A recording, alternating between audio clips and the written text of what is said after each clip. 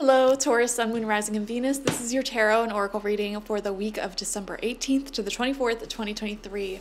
First card out for you is the first chakra in reverse with Archangel Michael. Guys, this is a week where you should really be doing some root chakra work and meditations, working on your sense of inner peace, inner stability, and security. And when you have inner security, inner stability, it doesn't matter what you're going through in your relationships with your money, with your life, you will feel at peace and at ease. And as a result, your external reality will become a lot more calm and centered as well. Relationships will relax and calm down and become more stable. Money will start flowing in more stably with more stability. And uh, life evens out life balances out. So this week you're being asked to really focus on this root chakra on your sense of security and stability from within and then watch as that security and stability manifests on the outside as well. You have the wild violet coming out from the fairy wisdom oracle. This is a card of romance. And passionate celebration. So beautiful energies there. Um, definitely expect some passion, some romance in your life this week. Even if you're super duper single, this can just show you romancing yourself with flowers or candles or just having a beautiful, sensual experience, romanticizing life itself beautiful, beautiful energy. And your message from spirit is reach out.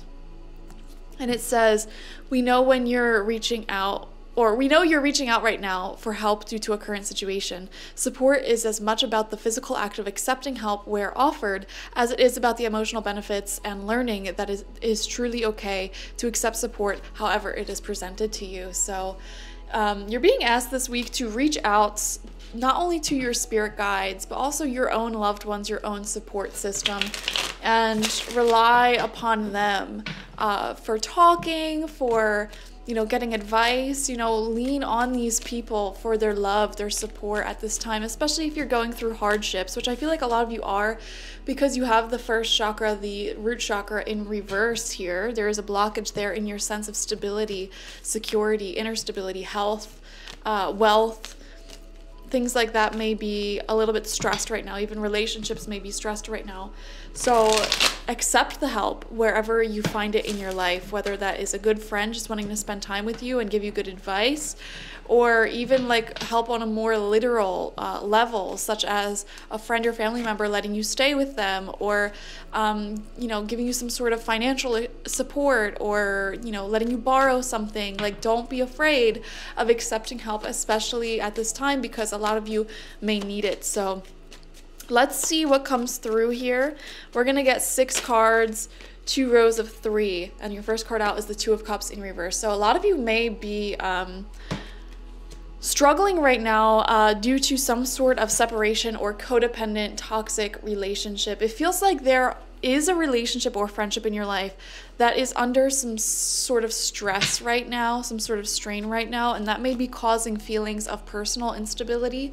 It's like you just want to figure your relationships out, everything out. You don't like being in any sort of purgatory, toxic, like, what are we situation. It's uncomfortable and it creates a lot of inner turmoil.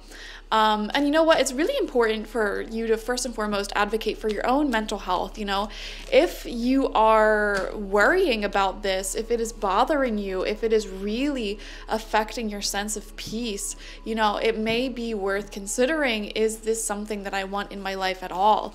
Um, it may be worth considering really leaning on your support system as well through this, um, going to them for advice, talking to them about things, so that way you can understand what your best next step is. I see Spirit um, doing this or encouraging you to do this this week, okay? Some of you may also be feeling a little bit upset because someone you hoped um, would be here in your life is not here. And that could be like mourning the loss of someone, or it could be like even mourning the loss of a friendship or relationship that is currently in separation. So, interesting energies. But then you have the romance card, the wild violet card as well. So I think it's really interesting how these uh, energies are pairing up together. We have the Page of Pentacles in reverse, yeah. it feels like some sort of physical support that you need or that you want is not here right now. Someone is not committed to you or not speaking to you, or like money or health, something like that may be struggling at this time. Um, the energy just may not be there, you know, some sort of opportunity or offer you wanted to come through to not come through. We have the King of Pentacles coming out completely neutral on top of that page of Pentacles. Yeah, I feel like a lot of you guys may have saw um, something beautiful, something long term in someone and it didn't end up working out in the way that you thought it would. Like you, you thought you could have had a very strong friendship or relationship with someone in your life, but they were not as like committed to it as you were. It may have, you know, caused some issues. Uh, another thing I'm seeing here with the King of Pentacles, this is your masculine energy. This is you in your power. So I do see that you are returning back to your state of personal power and peace. Okay. And we see the red color all around here as well. I feel like spirit is trying to work with you at this time that you're watching to get you to return back to that state of inner stability, inner peace, um, and get out of this frantic sort of fight or flight space you have been in, um, where things feel unstable or you feel very on edge or anxious about a certain relationship or lack of resources or health in your life, something like that. You know, there's definitely something here that's been giving you some anxieties, okay? And spirit is returning you back to a place of being grounded, of being centered, and, you know, making you in control again. Um, having you take control, advocate for your own um, well being is what I'm seeing here as well. Very interesting. Let's see what your second row of cards are for this week. We have the Seven of Wands in reverse exactly. You know, the, you're, you're at a point here. I don't know what it is specifically that you're going through, and this is coming out right underneath the Two of Cups reversed. There, you're at a point where it's time for you to protect your peace and advocate for your mental health, your sanity, your protection.